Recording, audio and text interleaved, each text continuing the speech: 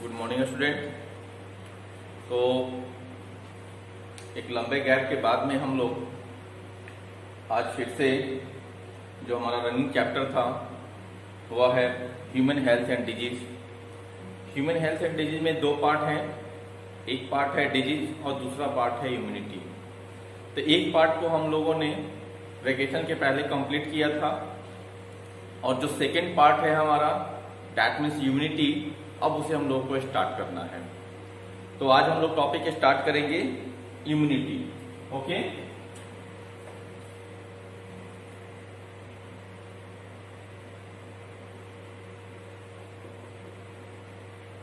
today our topic is immunity देखिए, सबसे पहले अगर बात करते हैं इम्यूनिटी की तो हम जानते हैं कि from birth to till death जब से हमारा जन्म होता है और जब तक हमारा मृत्यु नहीं होता है तब तक हम किसी ना किसी पैथोजेन से फाइट करते रहते हैं। हमारा बॉडी हमारा इम्यून सिस्टम वो पैथोजेन से फाइट करते रहता है। तो जो पैथोजेन से हमारा बॉडी फाइट करता है, वो फाइट करने की जो एबिलिटी है हमारे बॉडी के अंदर, उसी को हम लोग कहते हैं इम्यूनिटी तो इम्यूनिटी जो होती है, वो किसी भी फॉरेन पार्टिकल से टॉक्सिन से या कोई दूसरे सब्सटेंस से, जो हमारे बॉडी का नहीं है, उससे फाइट करने का जो एबिलिटी जो टेंडेंसी हमारे बॉडी के अंदर है, हमारे ऑर्गन के अंदर है तो ये जो एबिलिटी प्रोवाइड करता है कि ये फॉरेन पार्टिकल है, ये पैथोजेन है, उससे फाइट करके अपने बॉडी से बाहर निकालो, नहीं तो बीमार पड़ जाओगे। उसी रिस्पॉन्स को, उसी रेसिस्टेंस को, उसी एबिलिटी को, क्या कहते हैं हम लोग? इम्यूनिटी कहते हैं।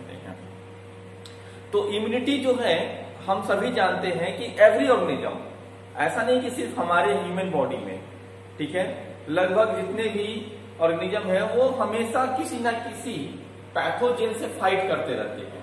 खास करके जो एनिमल्स हैं और प्लांट हैं, ये दोनों मेजर ग्रुप जो हैं, वो किसी ना किसी पैथोजेन से फाइट करते रहते हैं किस चीज़ के लिए?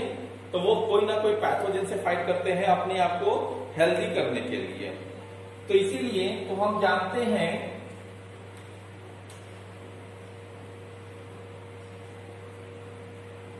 every organism organism life time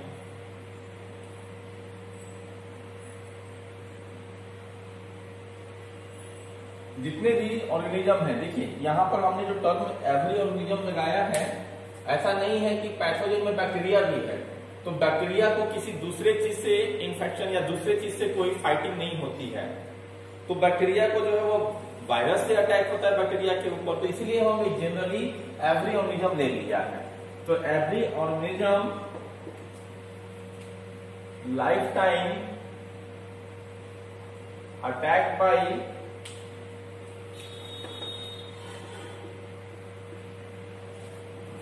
lifetime attacked by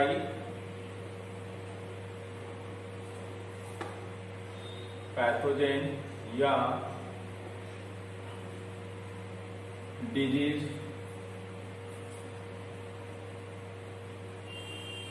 causing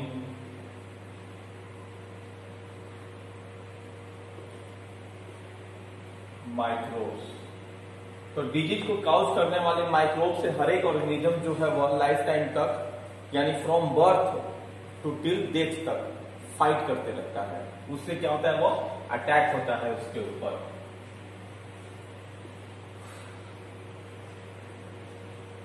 The organism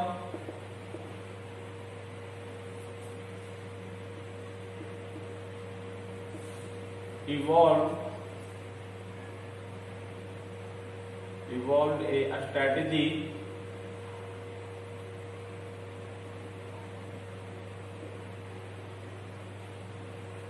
a strategy to overcome to overcome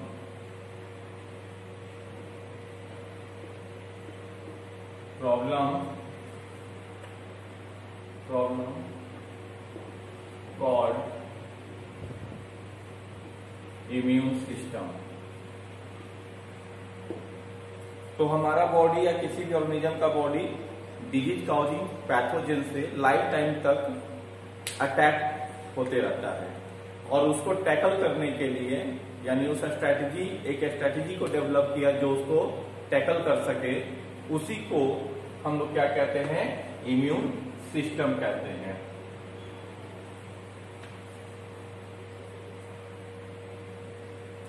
तो हम फाइनली अगर इम्यून इम्यूनिटी का अगर डेफिनेशन की बात करें तो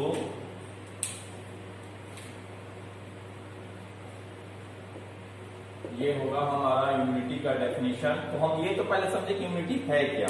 तो इम्यूनिटी का डेफिनेशन हमारा क्या कहता है? Immunity is the ability of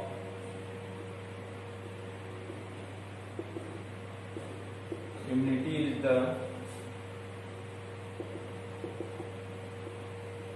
ability of body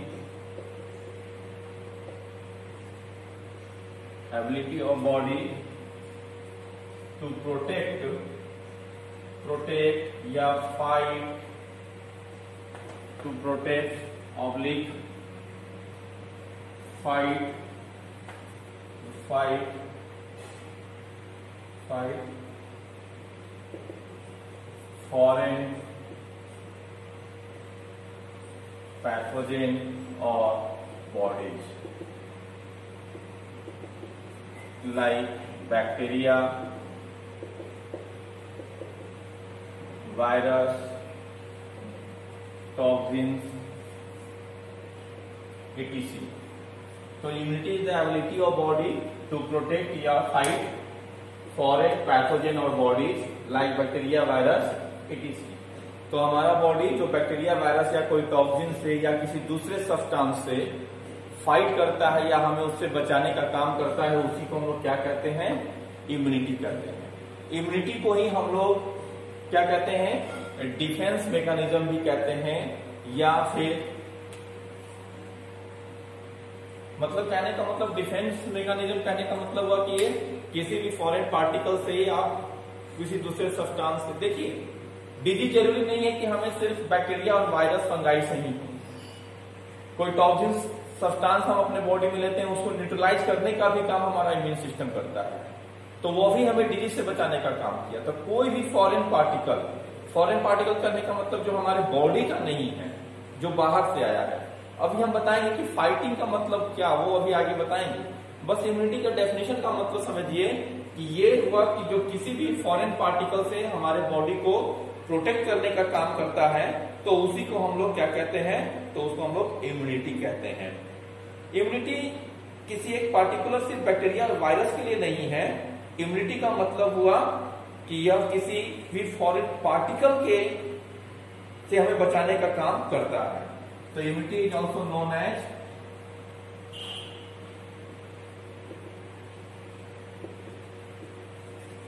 also known as disease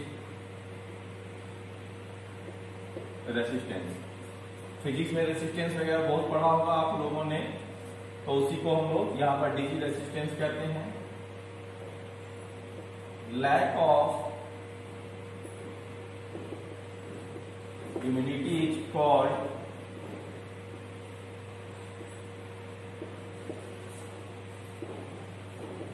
susceptibility. And a study of a study of immunity sensitivity allergy is called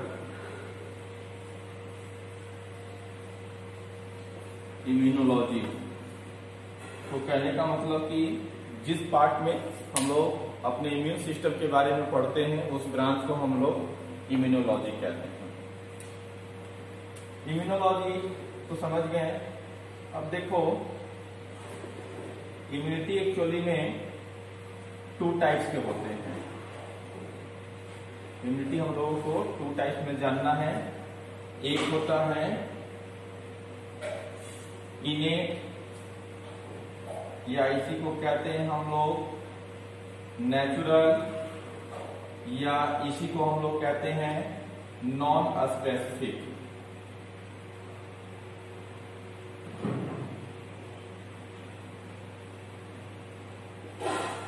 immunity और सेकेंड वन जो है, वह है acquired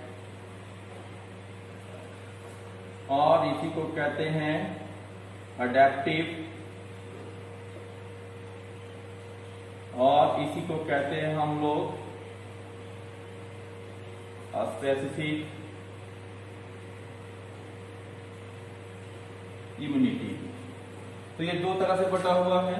There are two types of immunity immunity पहले दो types के हो गए तो यहाँ पर हम कर दिए। कितने टाइप्स के? टू टाइप्स के। इनेट और नेचुरल इम्यूनिटी का मतलब हुआ कि जो इम्यूनिटी हमें अपने पेरेंट्स से मिला है, और साथ ही साथ ये इम्यूनिटी बाय बर्थ हमारे अंदर डेवलप है। ऐसा नहीं कि ये इम्यूनिटी हमारे जन्म लेने के बाद में हमारे अंदर आया, नहीं। ये बाय बर्थ इम्यूनिटी जो डेवलप होता है, यानी कि फ्रॉम बर्थ टू डेथ तक जो इम्यूनिटी रहता है, उसको हम लोग कहते हैं इनेट इम्यूनिटी और एक्वायर्ड का मतलब ये होता है पाना, प्राप्त करना।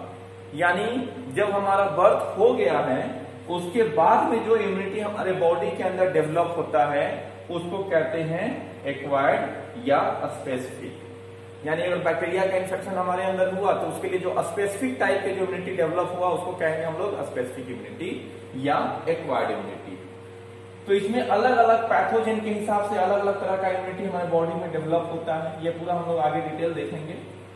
और इनेट इम्यूनिटी का मतलब कि ये सभी को, सभी तरह के पैथोजन से हमें प्रोटेक्ट करने का काम करता है। तो इसको कहते हैं हम लोग इनेट इम्यूनिटी तो इनेट इम्यूनिटी का डेफिनेशन हमारा यहीं पर क्या कहता है?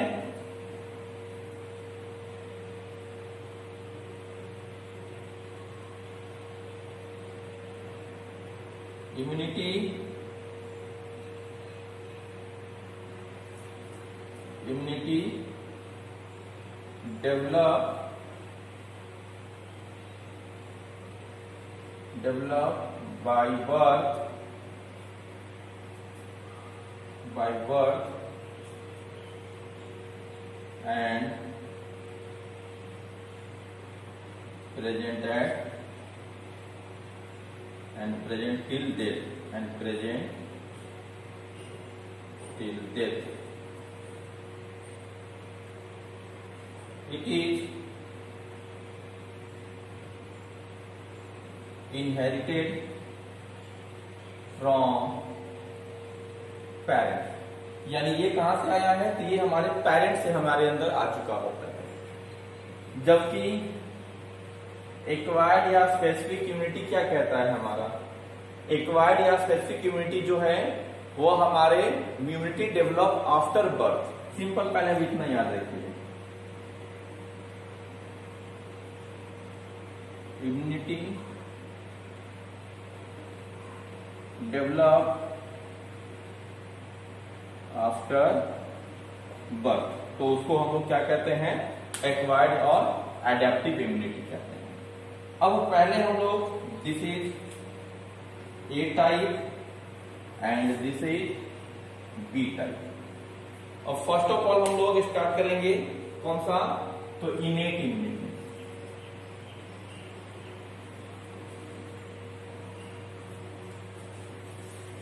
यहाँ तक की बात हम लोग देखें।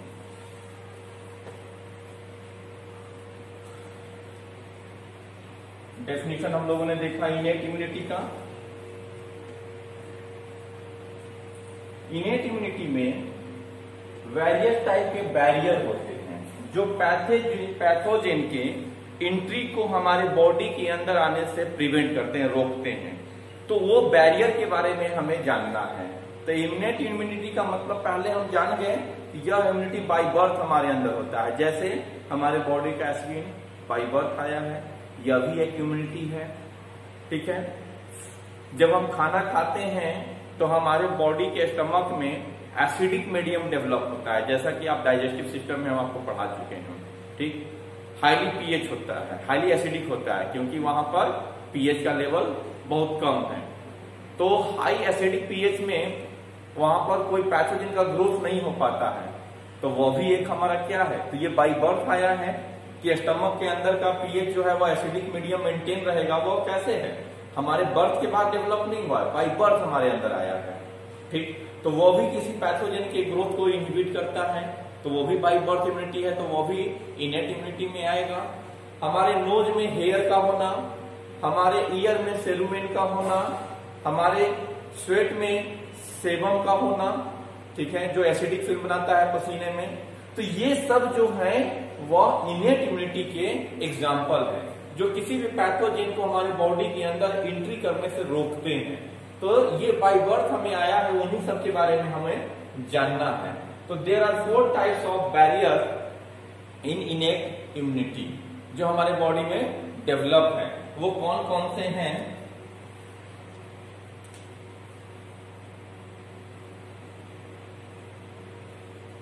There are four types of barrier.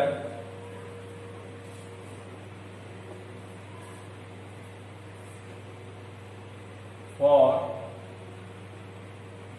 innate यानी इनेट इम्यूनिटी कैसे काम करता है? तो उसके लिए चार बैरियर है हमारे बॉडी में। जैसे फ़र्स्ट में देखिए। एक होता है physical barrier second one is physiological barrier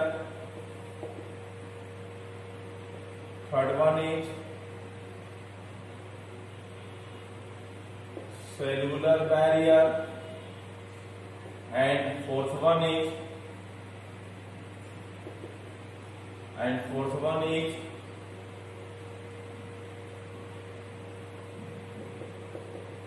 cytokine barrier. ये फोर बैरियर के बारे में हम लोगों को देखना है।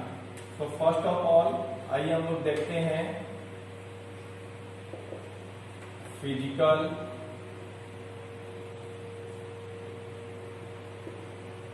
बैरियर के बारे में। फ़िज़िकल बैरियर का मतलब दो इसमें इंक्लूड होते हैं। एक हमारे बॉडी का स्किन और दूसरा म्यूकस मेम्ब्रेन जो दोनों बैरियर हैं, वो पैथोजेन के एंट्री को बॉडी के अंदर एंट्री करने से प्रिवेंट करते हैं, रोकते हैं। ठीक है?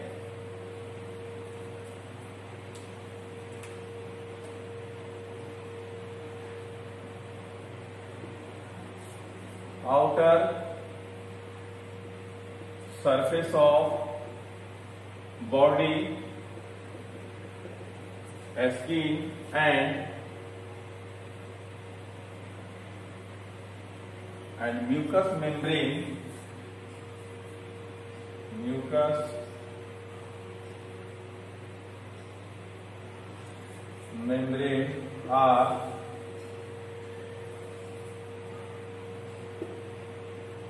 physical barrier of our body. ठीक है? जैसे तो अगर फ़र्स्ट में हम बात करें किसकी? स्किन की। स्किन जो है, वो किसी भी पैथोजेन को आप देख लो बॉडी का एक कवरिंग लेयर है। जब हमारा स्किन कट होता है तो ब्लड आने लगता है। या सिर्फ़ अगर आउटर लेयर स्किन अगर हमारा किसी चीज़ से दीवार से टकरा के या किसी चीज़ से हमें चोट लग गया इस तरह से और यहाँ पे कुछ व्हाइट व्हाइट दिखेगा। तो वहाँ पे कुछ सिक्रेशन होने लगता है बॉडी का फ्लूड बाहर आने लगता है। तो वहाँ पर तुरंत पैथोजन का ग्रोथ होना स्टार्ट हो जाएगा। तो ये स्किन जो है वो किसी भी पैथोजन को डायरेक्ट बॉडी में एंट्री करने से रोकने का काम कर रहा है तो skin is the physical barrier और स्किन जो है वो एक बहुत बड़ा फैक्टर है किसी भी पैथोजन के डायरेक्ट एंट्री को रोकने के लिए। बहुत ही इंपॉर्टेंट पार्ट है स्किन अगर ये सोचिए स्किन नहीं रहेगा हमारे बॉडी में तो न जाने, इसीलिए तो कभी भी कुछ कट अगर हमारे बॉडी से होता है तो डॉक्टर सबसे पहले क्या करते हैं? डॉक्टर जो है, सबसे पहले वहाँ पे बैंडेज वगैरह लगा करके, कुछ क्रीम वगैरह लगा करके, उसे कवर करने का काम करते हैं, ताकि कोई पैथोजेन जो है, वो डायरेक्टली हमारे बॉडी के फ्लूड से कांटेक्ट नहीं बना पाया और स्किन में स्टेटम कॉर्नियम करके एक पार्ट है स्किन का। तो देखिए।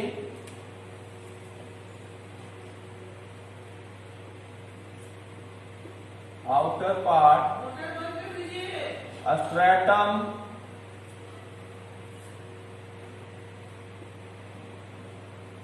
corneum of S T prevent entry of री ऑफ़ पैथोजेन इंटू ब्लड उसी तरह सेकेंड में हमने क्या बोला? म्यूकस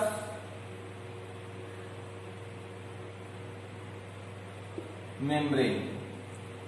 म्यूकस मेम्ब्रेन का काम क्या है?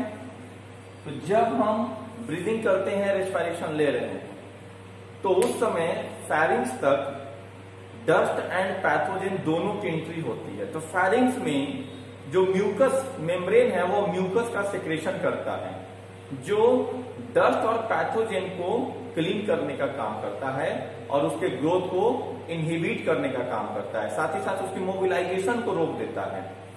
तो mucus membrane it secrete mucus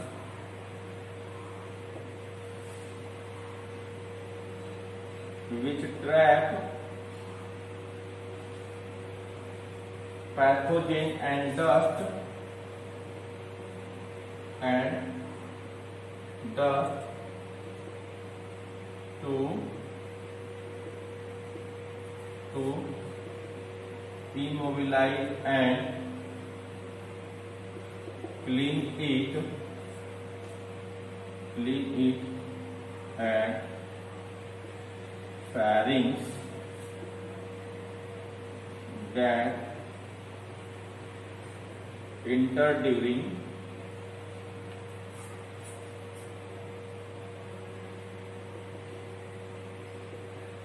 respiration तो ये हो गया। तो जब रिस्पायरेशन के समय में ये आते हैं तो फ़िज़िकल बैरियर में ये दोनों चीज़ हम लोगों ने इंक्लूड कर लिया अब नेक्स्ट देखिए। Physiological barrier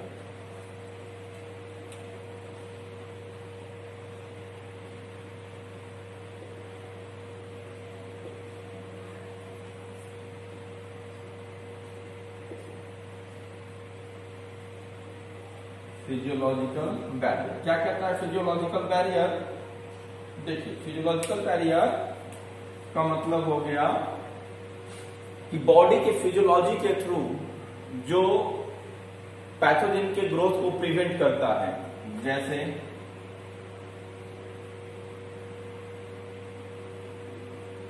acidic medium in stomach inhibit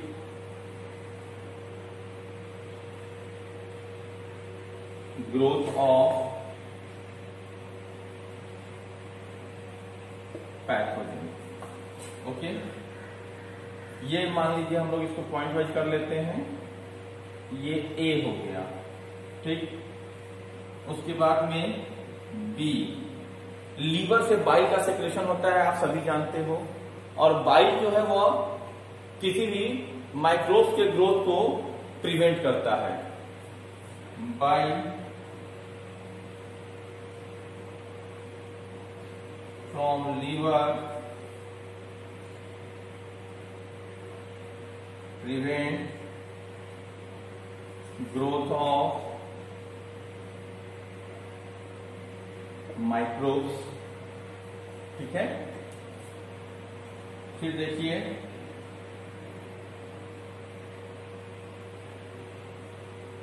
lysozyme. ठीक है? लाइसो जाइम जो है, ऐसे तो मेन चीज़ समझो कि क्या होता है कि जो भी हाइड्रोलिटिक एक्शन वाले जो होते हैं मतलब कुछ तोड़ने का काम करते हैं किसी चीज़ को तो वो लाइसोजाइम नेचर के होते हैं। तो लाइसोजाइम जो है वो प्रेजेंट होता है हमारे हर एक बॉडी के फ्लूड में। बस सेरेब्रो स्पाइनल फ्लूड और स्वेट और यूरिन को छोड़ के। तो लाइसोजाइम तीन जगह छोड़ करके जो पसीना आता है उसमें लाइसोजाइन नहीं होगा। दूसरा जो यूरिन है उसमें नहीं होगा, क्योंकि यूरिन ऑलरेडी एसिडिक मीडियम है। पसीना में ऑलरेडी जो है वह सेबम होता है, उससे एसिडिक फ़िल्म बनता है तो वहाँ पर और सेरेब्रो स्पाइनल फ्लूड में। ये तीन जगह लाइसोजाइम नहीं है। बाकी मैक्सिमम जगह जितने भी बॉडी फ्लूड है, वहाँ पर यह होता है। तो lysozyme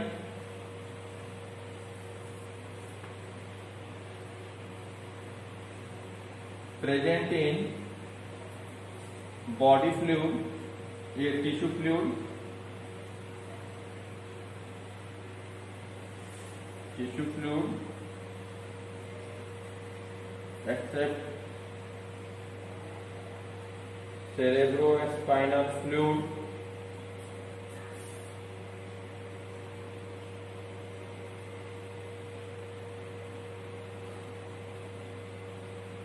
Urine and sweat तो लाइसोजाइम काम क्या करता है? तो लाइसोजाइम जो है वो ब्रेक डाउन करने का, यानी हाइड्रोलिटिक नेचर का होता है। It is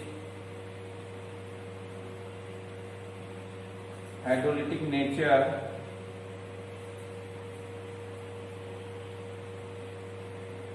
that prevent growth of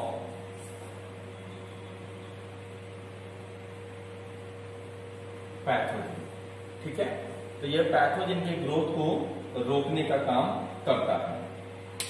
उसके बाद में देखिए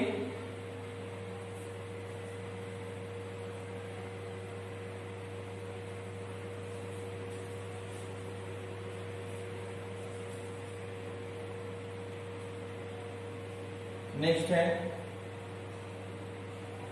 डी देखिए, सेवम। तो सेवम का काम क्या है? तो जैसा कि आप जानते हैं, सेवम या ईयर वैक्स है। Sebum is the ear wax और ये सेवम तीन काम करता है। पहला माइक्रोब्स के ग्रोथ को इनहिबिट कर देगा। जो डस्ट पार्टिकल है उसको ट्रैप करके चिपका लेगा अपने अंदर। और जो भी इंसेक्ट वगैरह हैं, उनको रिपेल यानी अब इंसेक्ट को ईयर से भगाने का काम करता है। यानी इंसेक्ट जो है उनसे दूर भागते, वो नहीं चाहते, उसके स्मेल से और उसके उस नेचर की वजह से इंसेक्ट उससे बाहर निकलना चाहते हैं। ये तो तीन काम करता है सेवम, ठीक? तो सेवम का मतलब आप पहले समझ लो, ये सेवम का? तो ये तीन काम मैंने आपको बताया। कौन कौन सा? तीनों काम तो पहले तो ये हटाएगा। सेवम सॉरी सॉरी सेवम नहीं, सेरू में। सेवम का मतलब स्वेट से होगा। और ये सेरुमेन ओके सेरुमेन का मतलब होता है ईयर वैक्स और ईयर वैक्स का तीन काम क्या करेगा?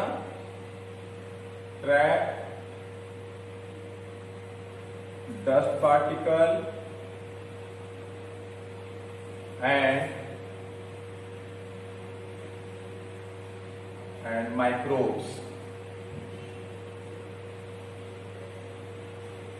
microbes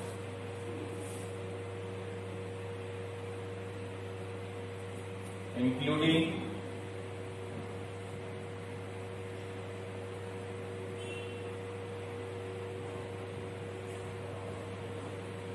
including repair insect साथ ही साथ इंसेक्ट को भगाने का भी काम करेगा।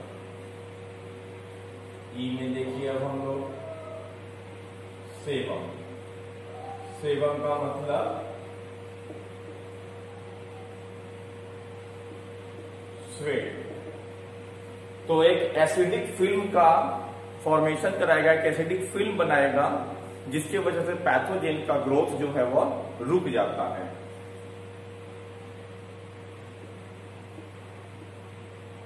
Develop acidic film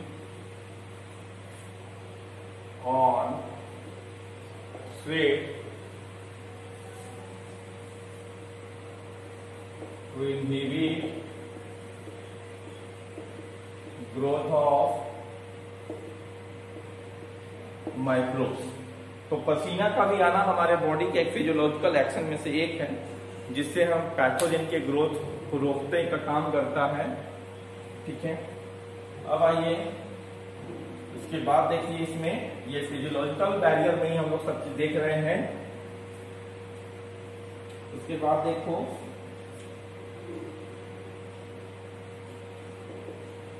urine urine जो होता है वो स्लाइटली एसिडिक मीडियम का होता है, जो किसी भी पैथोजेन की एंट्री को रोकने का काम करता है।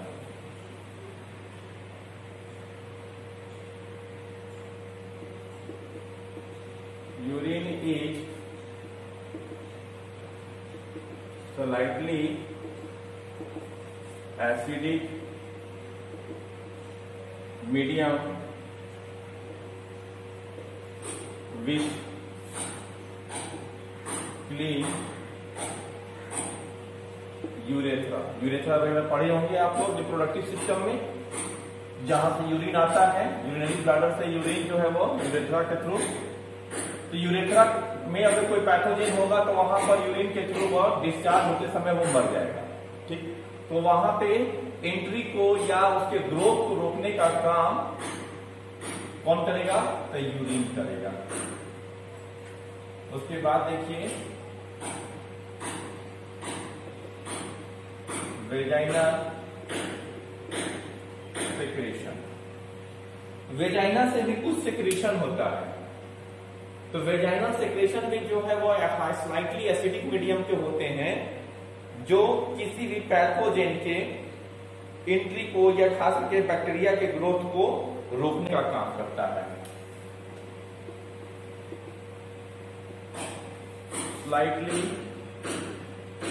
acidic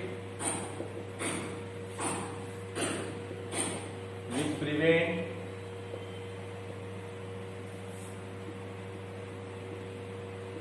bacteria. Growth तो वेजाइनल सेक्रेशन में जो है वो क्या करता है? बैक्टीरिया के ग्रोथ को रोकने का काम करता है। अब एक चीज़ देखिए नेजल हेयर जो आपको बताए थे हम।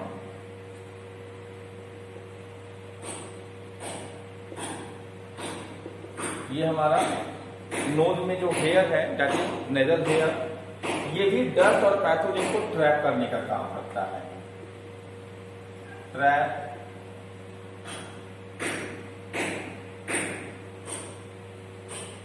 माइक्रोब्स और पैथोजन नहीं लिख सकते हैं।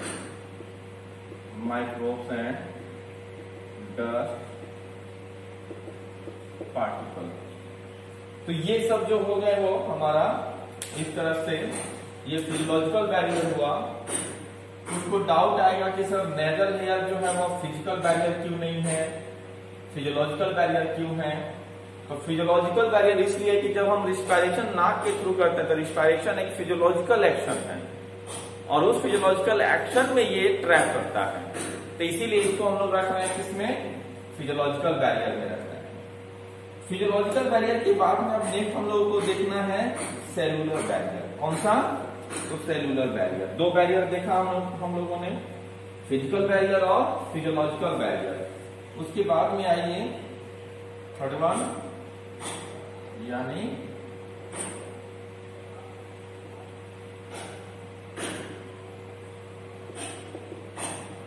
सेलुलर बैरियर सेलुलर बैरियर ऐसे बहुत सारे जो सेल हैं, खास करके कुछ लिकोसाइट और लिम्फोसाइट मैक्रोफाज ये सब जो है वो हमारे बॉडी के सेलुलर बैरियर सेल है। लेकिन वो एक किसी भी पैथोजन के एंट्री को और उसके ग्रोथ को रोकने का काम करते हैं। तो चूँकि वो एक सेल है, लेकिन हमारे बॉडी के अंदर सेल रहते हुए भी वो किसी भी पैथोजन के ग्रोथ और एंट्री को रोकने का काम करते हैं तो ये सब इंक्लूड होते हैं सेलुलर बैरियर में।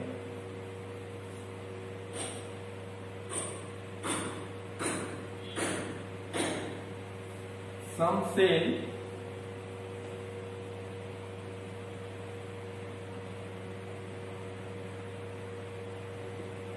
and macrophage are inhibit entry and entry and growth of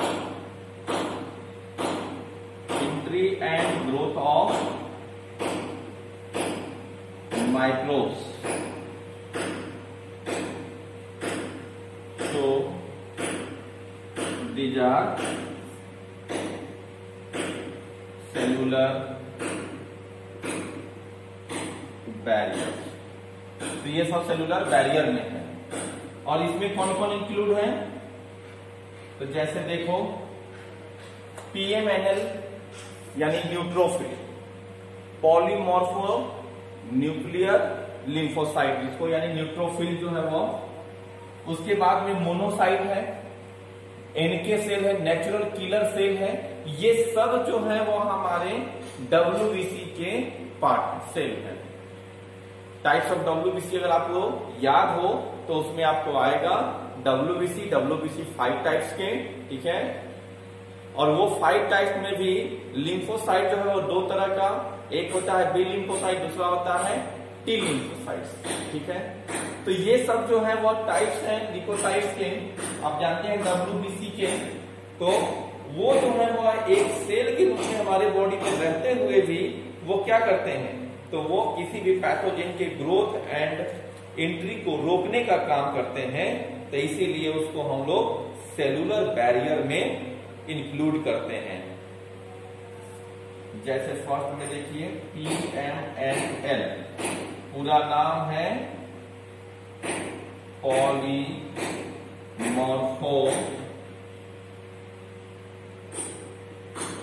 polymorphonuclear leukocyte polymorphonuclear leukocyte को ही, यानी यह क्या है? तो यह न्यूट्रोफिल है। ओके पॉलीमॉर्फो न्यूक्लियर ल्यूकोसाइट यानी न्यूट्रोफिल न्यूट्रोफिल जो होता है वो मोस्ट न्यूमेरस ल्यूकोसाइट है। सबसे छोटा। It is most numerous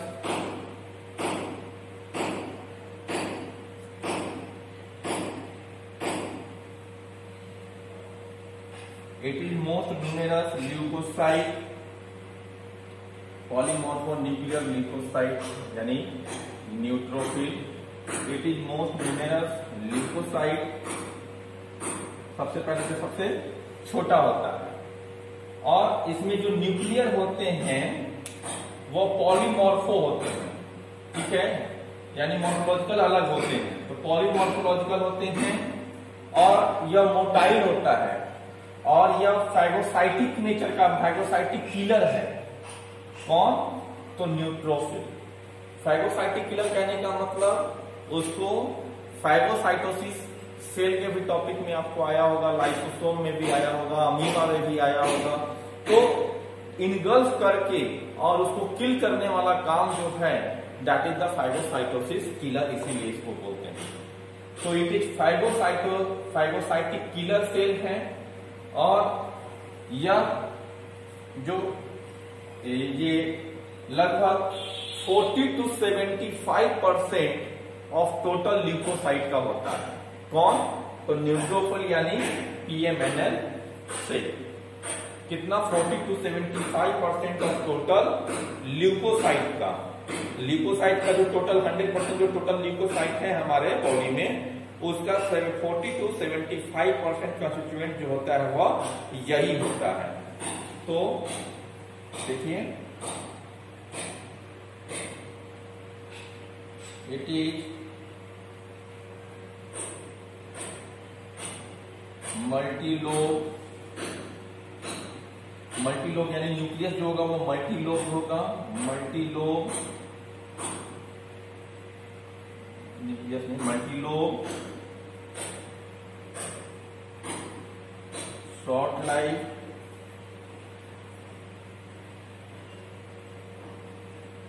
Phagocytic killer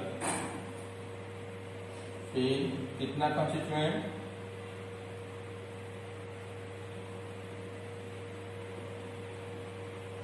at constituents about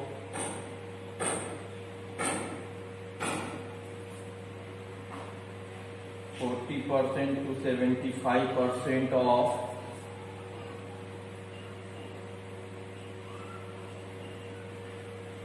forty percent forty to forty percent to seventy five percent of total leukocyte तो जो टोटल ल्यूकोसाइट है उसका 40 से 75 परसेंट तक होता है। और चूँकि जानते हैं, क्या लिखे हम कि यह शॉर्ट लाइफ होता है। तो एक सेलुलर बैरियर में एक ये हुआ। सेकंड में देखिए मोनोसाइट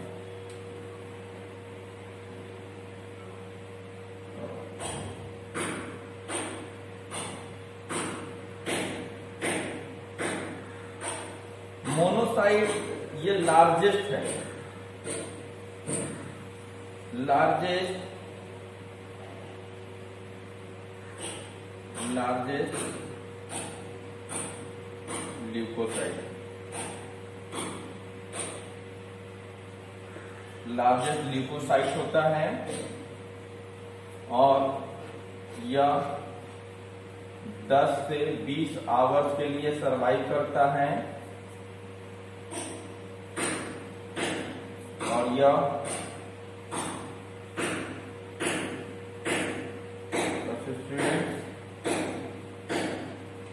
कितना है?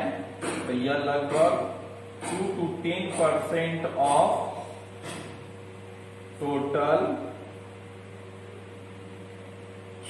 leukocytes का होता है। मोनोसाइट आपको याद रखना ज़रूरी है, क्योंकि मोनोसाइट से ही इंपॉर्टेंट अभी हम लोग देखेंगे एक मैक्रोफाज को। तो मोनोसाइट्स के बाद में वो देखेंगे मैक्रोफाज और जो मैक्रोफाज है वह मोनोसाइट से ही बनता है। तो मोनोसाइट ही मैक्रोफाज या मैक्रोफाज जो है वो मोनोसाइट है। कैसे? अभी देखते हैं तो इस सेलुलर बैरियर अभी हम देख रहे हैं।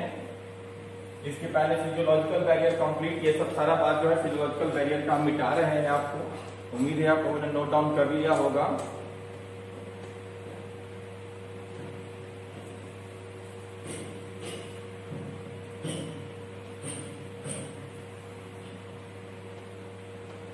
अब देखिए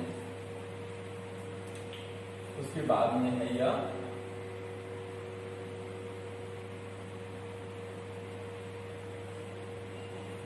macrophage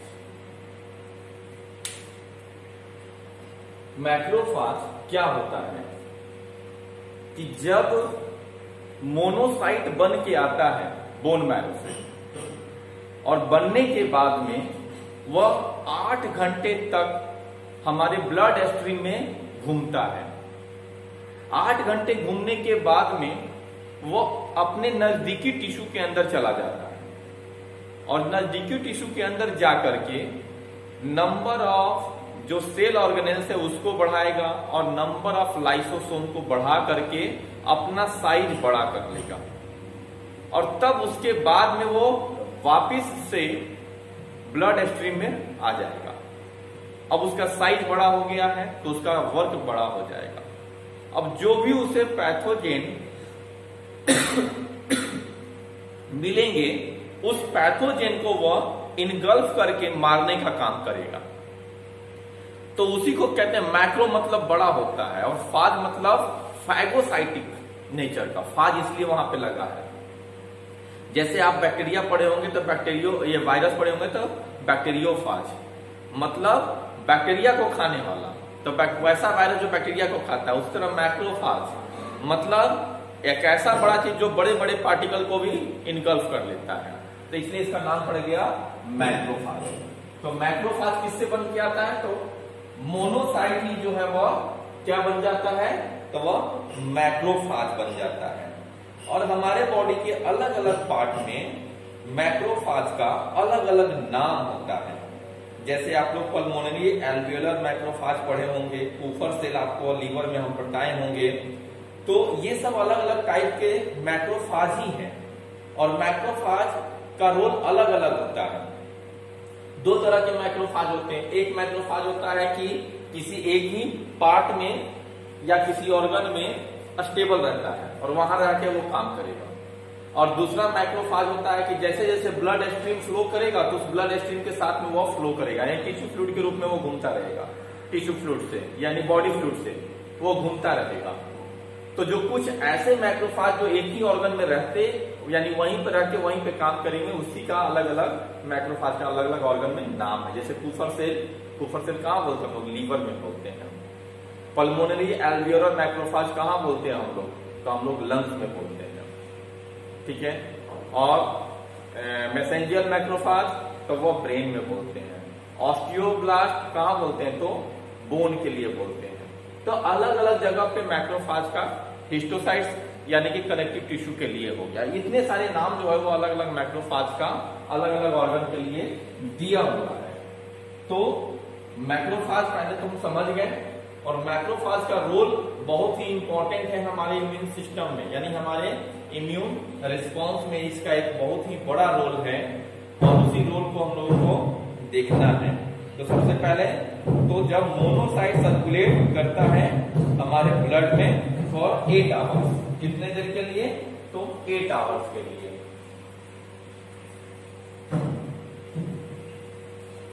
Monocyte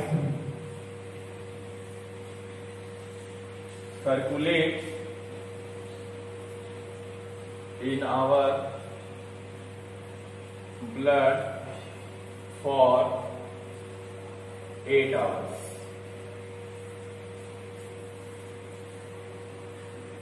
Then it enter into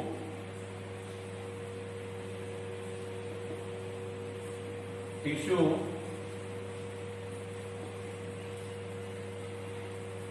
To becomes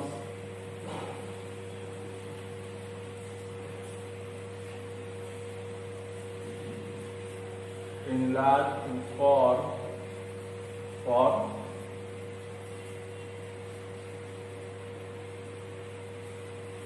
macrophage और ये इनलार्ज होकर के क्या बन जाएगा? Macrophage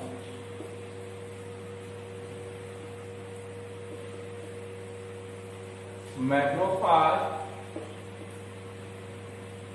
is long life and it has it has more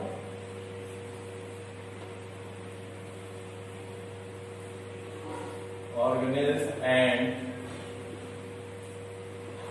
lysosome.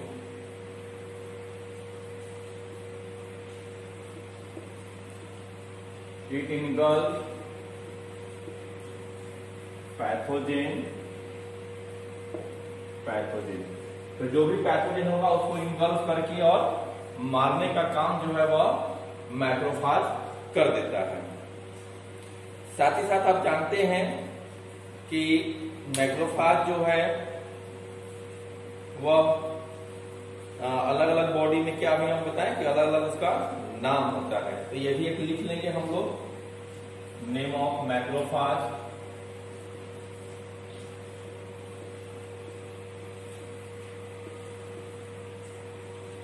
name of macrophage in different organ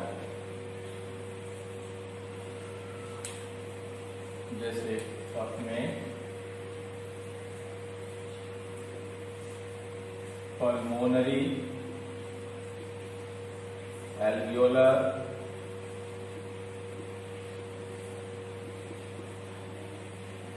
pulmonary alveolar macrophage ये कहाँ है? लंग्स में।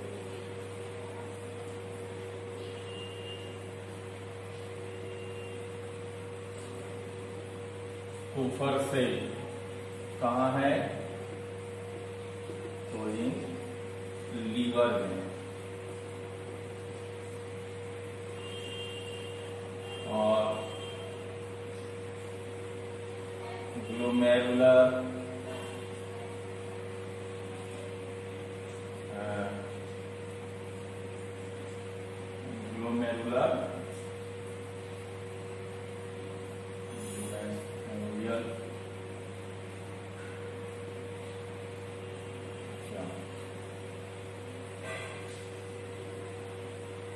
osteo osteocytes osteo osteocyte osteoblast और ऑस्टियोक्लास्ट ऑस्टियोक्लास्ट हो जाएगा आपका मैक्रोफाज और ऑस्टियोक्लास्ट जो होता है, जो बोन के सेल को ये करता है बनाने का काम करता है। हाँ तो ऑस्टियोक्लास्ट जो होगा, वो बोन में होगा। ऑस्टियो क्लास्ट तो ये कहा है? इन बोन उसके बाद में पल्मोनरी हो गया ऊपर हो गया ऑस्टियोक्लास्ट हो गया, ठीक है? और एक होता है ये माइक्रोग्लियल हाँ माइक्रोग्लियल माइक्रोग्लियल से कहा? इन ब्रेन और माइक्रोग्लियल ब्रेन का है तो मैसेंजर हो जाएगा। ग्लोमेरुलर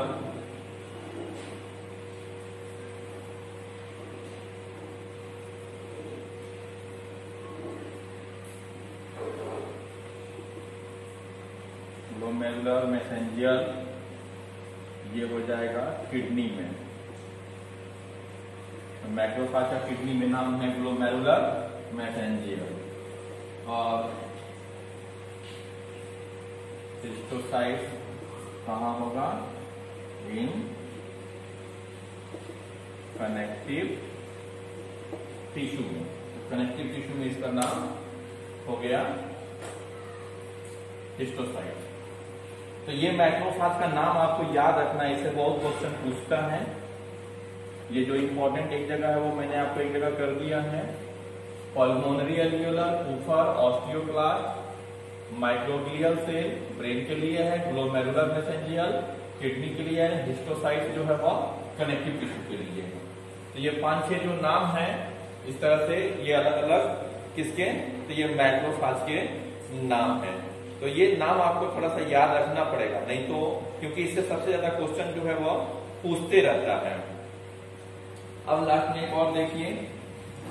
तो ये मैक्रोफाज हो गया। मैक्रोफाज के बाद में नेचुरल कीलर सेल जिसे हम लोग शॉर्ट में बोलते हैं एन के सेल ठीक? तो माइक्रोफाज जो है हमारा थर्ड पॉइंट था, ये हमारा हो गया सेलुलर बैरियर में फोर्थ पॉइंट तो NK cell natural killer cell natural killer cell is a type of lymphocyte जैसे बी लिम्फोसाइट और टी लिम्फोसाइट होता है ना, उसी तरह से यह एक तीसरा टाइप होता है नेचुरल किलर सेल ठीक है?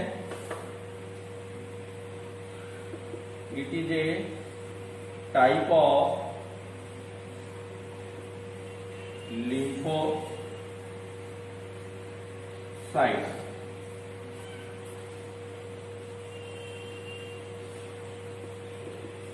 that occurs in lymph node red, bone marrow lymph node में रेड बोन मैरो में एंड एस्प्लीन यह तीन जगह कौन? ये नेचुरल किलर सेल जो है वह मिलता है। और नेचुरल किलर सेल यानी एनके सेल जो है वह एक लिम्फोसाइट्स है। तो ये बात थोड़ा सा आपको ध्यान में रखना होगा। एक इंपॉर्टेंट बात ये होता है कि इसके पास इट डू नॉट हैव यानी कहने का मतलब ये एक्चुअल में पॉइंट जो है वो आगे आपको समझ में आएगा। लेकिन मैं लिख रहा हूँ। It do not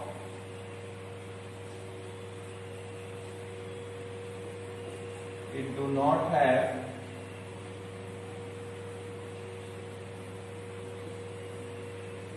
antigen receptor like B cell and T cell. इसके पास बी सेल और टी सेल के जैसा एंटीजन को एंटीजन से अटैच करने वाला रिसेप्टर नहीं होता है, जो बी सेल और टी सेल के पास होता है, क्योंकि बी लिम्फोसाइट और टी लिम्फोसाइट दोनों लिम्फोसाइट और यह भी एक तीसरे तरह का लिम्फोसाइट है। लेकिन इसके पास उनके जैसा एंटीजन रिसेप्टर नहीं होता है। यानी जो एंटीजन से अटैच हो सके, वैसा नहीं है। तो ये क्या करता है? ये पैथोजेन को या एंटीजन को दो तरीके से डिस्ट्रॉय करता है। It destroy destroy it destroys the pathogen. It destroys the pathogen by two ways. कैसे? एक जो तरीका है वह है साइटोलाइसिस इसमें क्या करता है? साइटोलाइसिस में क्या होता है? NK cell produce perforin chemicals NK cell produce perforin chemicals NK cell produce perforin chemicals जब परफोरिन केमिकल्स को बनाने का काम करता है that break the that break the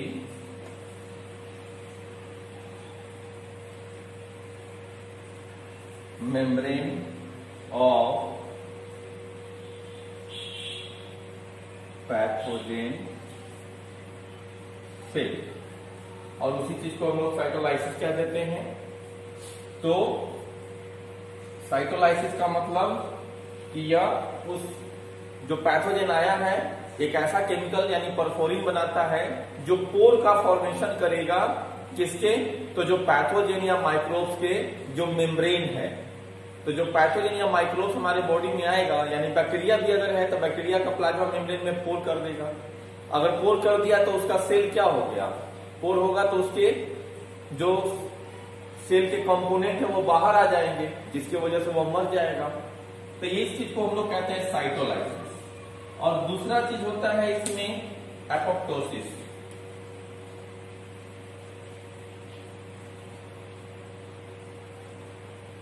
दूसरा काम क्या करता है?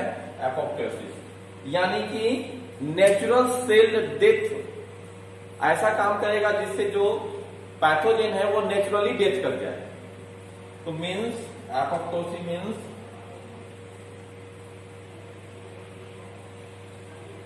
natural cell death तो वो जो पैथोजेन आया है, वो नेचुरली डेथ कर जाए। तो उसी को कहते हैं हम लोग एपोप्टोसिस तो नेचुरल एनके सेल का तीन बात ही आपको याद रखना है। यह एक तरह का लिम्फोसाइट है।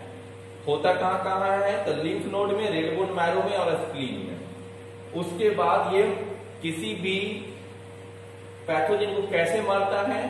तो एक परफोरिन केमिकल्स को बनाएगा। और वो परफोरिन केमिकल प्लाज्मा मेम्ब्रेन में पोर करेगा, जिसकी वजह से उसके सेलुलर कंटेंट बाहर आएँगे और वो पैथोजन मर जाएगा। या दूसरा हुआ एपोप्टोसिस के वजह से। ठीक है?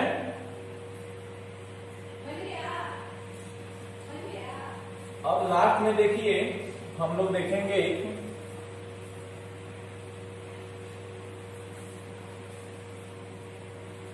लास्ट पार्ट जो है हमारा। इसमें है वह है, यानी कौन कौन सा? फ़िज़िकल बैरियर देख लिया हम लोगों ने। फिजियोलॉजिकल बैरियर सेलुलर बैरियर अब लास्ट है साइटोकाइन बैरियर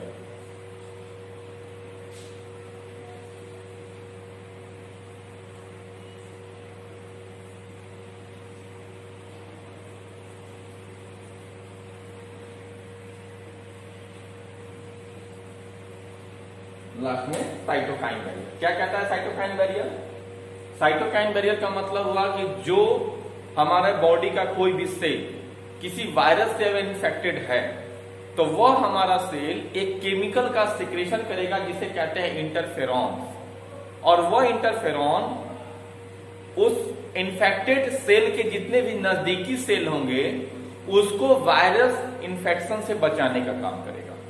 तो इसी को कहते हैं हम लोग cytokine barrier cytokine is a chemical और इसमें बहुत सारे केमिकल इंक्लूड है। जैसे लिम्फोकाइन लिम्फोसाइट से बन के आता है, ठीक है? इंटरलिकॉन्स होता है इंटरफेरॉन होता है। तो साइटोकाइन इज़ ए केमिकल अभी बस इतना समझिए। Cytokine is a chemical like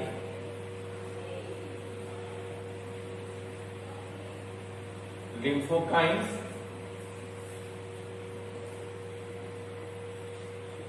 secretes by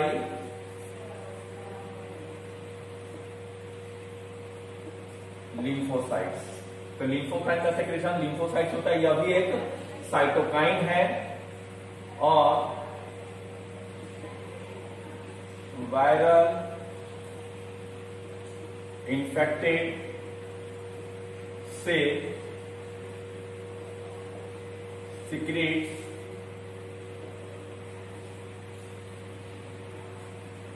interferon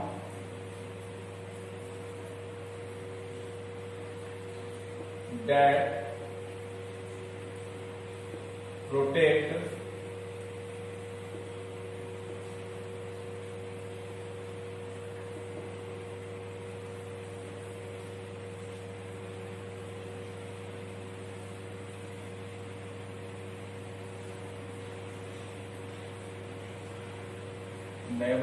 neighbor cell that protect neighbor cell